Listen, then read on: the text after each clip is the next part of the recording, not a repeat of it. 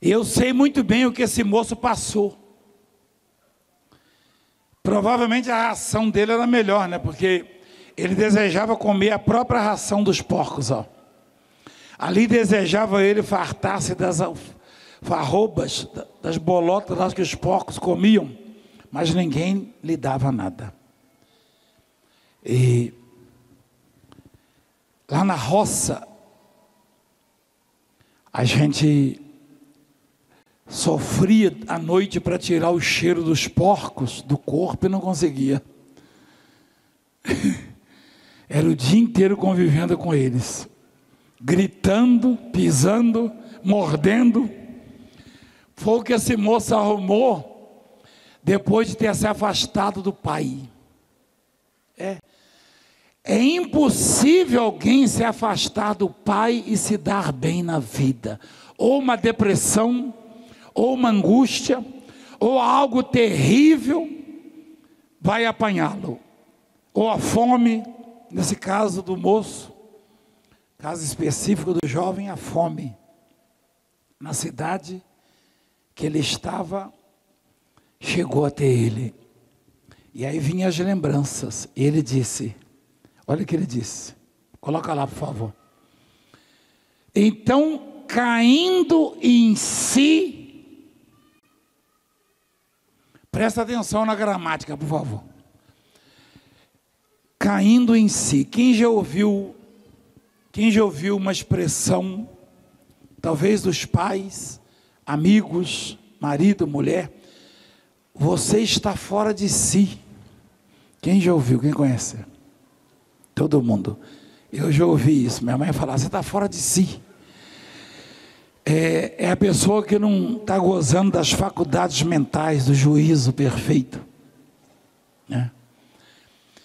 Isso mostra que o filho que perde, pede a parte que lhe cabe e que se afasta do pai só pode estar fora de si.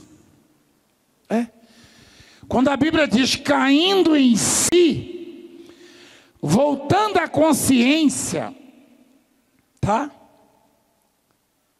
Ele percebeu a loucura que tinha feito e como é louco.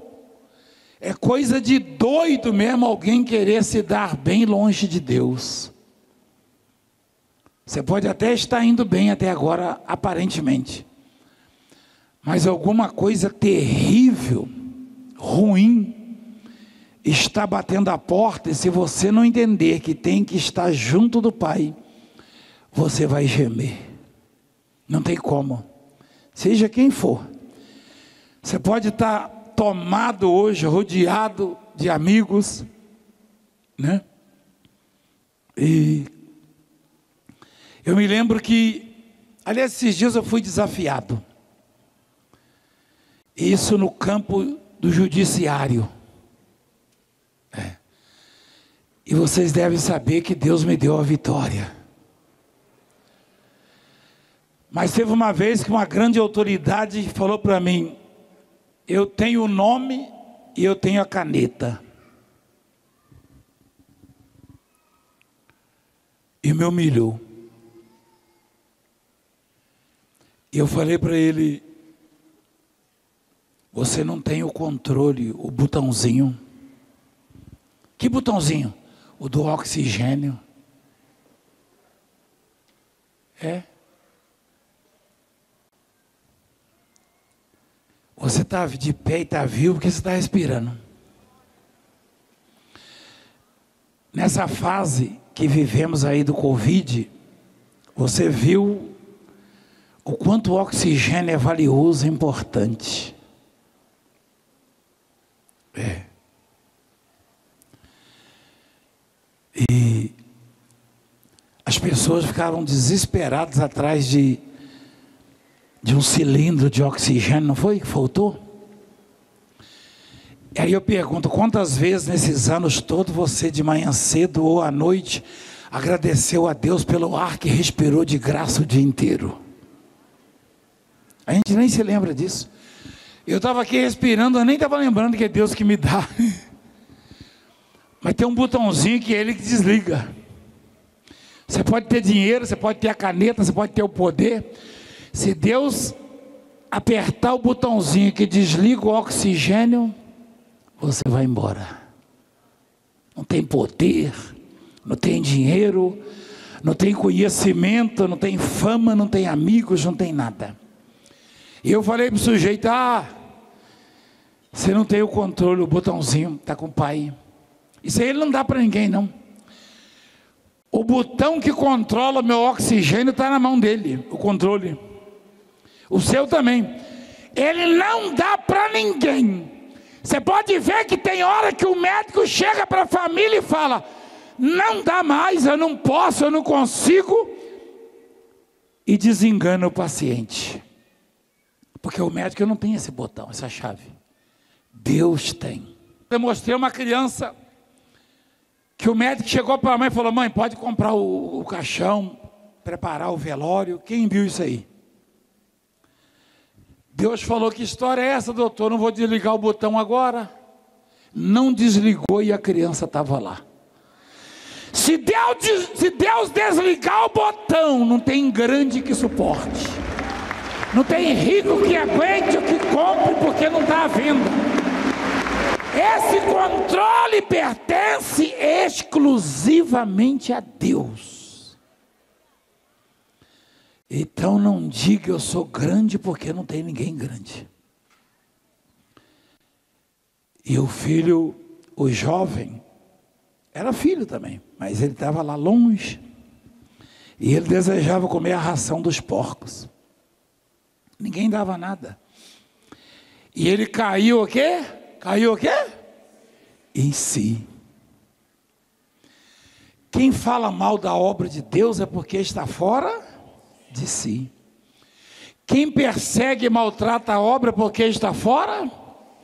Quem se acha acima do bem e do mal é porque está fora de si. Tomara que caia em si. E não tem coisa melhor para que alguém venha cair em si, se conscientizar da insignificância do ser humano, do que a perda, do que a humilhação, do que o, o a vergonha, é? Do que o sofrimento. Você me perdoa falar isso? Quando nós estamos sofrendo, entendemos que nunca fomos grandes que não somos capazes, a nossa capacidade, a eficácia das nossas ações, tudo que eu e você possamos conquistar na vida só pode vir de Deus. O filho pródigo então falou, caiu em si e falou: Quantos trabalhadores de meu pai têm pão com fartura? Empregados da fazenda. E eu aqui morro de fome. Levantar-me-ei e irei ter com meu pai, e lhe direi: Pai, pequei contra o céu e diante de ti. Já não sou digno de ser chamado teu filho. Trata-me como um dos teus trabalhadores. O padrão de vida dele caiu tanto que ele já não queria mais padrão de vida de filho. Não. É porque o filho, ele tem um padrão de vida. O trabalhador tem outro padrão. O filho, além disso, tem direito à herança, tem uma parte que ele cabe, você viu? E não sou eu que estou dizendo, é a Bíblia. Se você é, tem sabedoria, você já entendeu que você não vai sair daqui com as mãos vazias, porque existe mesmo, é fato isso, existe uma parte que lhe cabe, que lhe pertence. Existe uma coisa, ou muitas coisas, não sei, mas tem uma parte que nos cabe. Eu só sei o que é saúde, bem-estar, prosperidade, paz. Tem muita coisa que o seu coraçãozinho deseja, que Deus tem em mãos e sabe que é seu, foi Ele que, que preparou para você.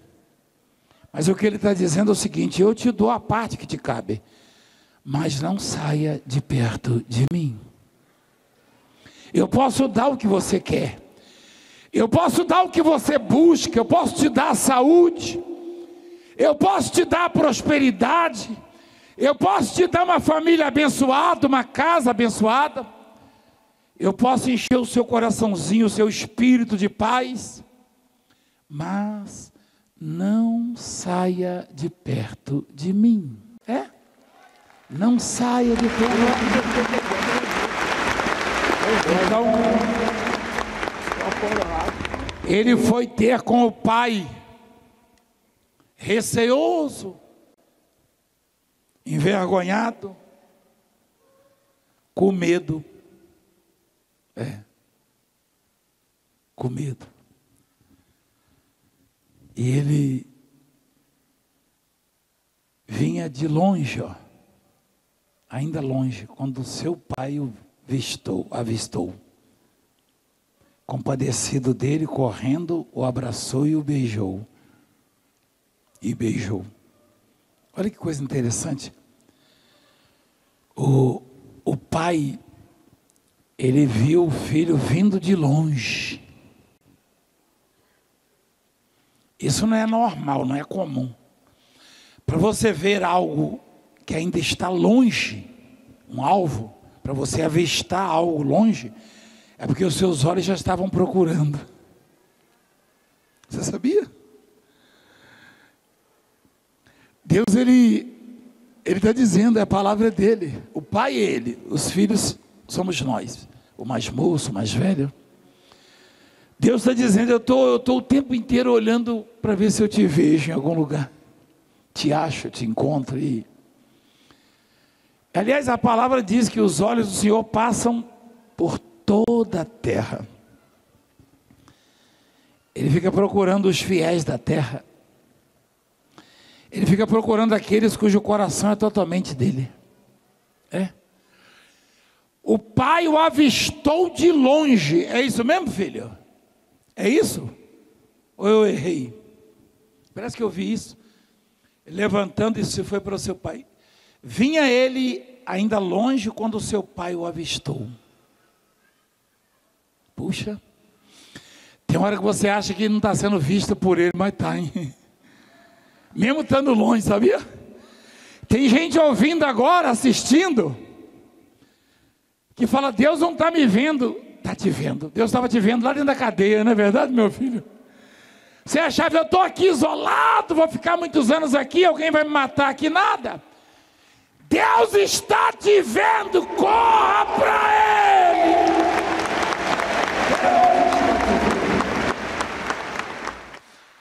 O pai o avistou de longe. Se fosse eu ou você, provavelmente receberíamos o filho com um puxão de orelha, umas boas varadas, broncas. Mas o pai não aguentou, olha só. Esse é Deus, não esqueça disso. Olha só. E compadecido dele, correndo, o abraçou e beijou. E o filho disse: Pai, pequei contra o céu e diante de ti. Já não sou digno de ser chamado teu filho. O pai, porém, disse aos seus servos: Trazei depressa a melhor roupa. Que, que o pai quer para nós? A melhor roupa. Hein? Escuta a palavra, por favor. O pai falou: traga para o meu filho o quê? Trazei depressa. Ele falou depressa? Isso significa dizer que o pai quer te dar a melhor roupa. Isso depressa, hein? Significa mudança. É. Visual, patamar, conforto. Trazei depressa a melhor roupa. Vestiu. Ponde-lhe um anel no dedo e sandálias nos pés. O, o filho que já tinha sido rico estava descalço. Trazei também e matai o novilho. Quem sabe o que é um novilho cevado? É aquele que está no confinamento, ele não fica andando no pasto. Ele, ele não cria músculo, não, ele é macio, ele é tenro, ele é. Quando você, já foi numa churrascaria, eles chamam lá na churrascaria o baby beef. é. Quando o sujeito chega, apóstolo, quer o baby beef? Eu falo, rapaz, deixa dois aqui. então, olha lá. Matai para ele o que é o novilho? Comamos, regozijemo-nos, porque este meu filho estava morto e reviveu, estava perdido e foi achado. E começaram a regozijar-se, festejar. Olha que interessante. O filho estava envergonhado, estava sentido, sentia-se devedor, indigno, jamais iria dar ordens, como fazia antes, para os empregados, para os funcionários. Tudo que ele queria ter o mesmo padrão, a mesma qualidade de vida que os funcionários tinham. Ele tinha muito superior, mas perdeu. Perdeu porque ele quis. Perdeu porque ele se afastou do pai. O pai deu a parte que lhe cabia, mas na companhia dele. Você não precisa se afastar do pai para ter a parte que lhe cabe da herança. Se você pede, ele dá. E presta atenção: o filho não tinha poder para promover aquela festa, mas o pai, que era o dono, promoveu para ele uma festa. Ora, o filho mais velho estivera no campo, trabalhando na lida.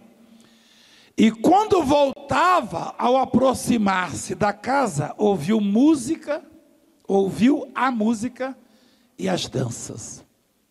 Chamou um dos seus criados e perguntou-lhe o que era aquilo. Presta atenção, presta atenção no que o criado falou para ele. O filho mais velho, ele falou: que, que barulho é esse? Aí o criado disse: Veio teu irmão e teu pai mandou matar o novilho cevado. O filho mais velho estava ouvindo barulho de boi berrando ou de música?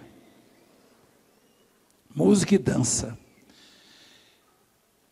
Alguém perguntou alguma coisa do novilho? Não. Esse é o ser humano. É tão vulnerável. É tão falto de virtudes, de qualidades, qualificações. É. Ele pergunta para o criado assim, para o empregado: Que barulho é esse? Que festa é essa? Aí ele disse: Veio teu irmão. Ele poderia até falar desse barulho, é que seu irmão voltou e tem festa, tem danças, tem música. Mas ele falou: seu pai mandou matar o quê? O novilho cevado. Alguém perguntou alguma coisa de novilho? Não. Porque durante aqueles anos todo, aquele filho mais velho estando na presença de Deus, conquistou o direito de fazer o que ele quisesse, de ter o que ele desejasse, mas não percebeu, porque às vezes nós vivemos numa cegueira espiritual e não percebemos as oportunidades. E e Satanás então não perdeu tempo e mandou para cima dele essa daí, ó. Teu, teu irmão voltou e seu pai mandou matar o novilho cevado, porque o recuperou com saúde. Ele se indignou e não queria entrar em casa. Saindo, porém, o pai o procurava conciliá-lo. Mas ele respondeu a seu pai: Há tantos anos que te sirvo sem jamais transgredir uma ordem tua, e nunca me deste um cabrito sequer para alegrar-me com os meus amigos. Vindo, porém, este teu filho que desperdiçou os teus bens com as meretrizes, tu mandaste matar para ele o novilho? Ele deu falta do novilho lá no pasto ou no estábulo? Não. Ele recebeu uma informação de que o pai tinha matado o novilho cevado. Ele não perguntou nada de novilho, ele só queria saber que barulho era aquela, aquele. Bastava falar, são músicas, danças. Seu irmão voltou. E quando ele fica indignado e o pai tenta conciliá-lo, ele mostrou o porquê da indignação. O novilho cevado. Olha lá. O novilho cevado. Assim é o ser humano. Jesus falou uma parábola sobre isso.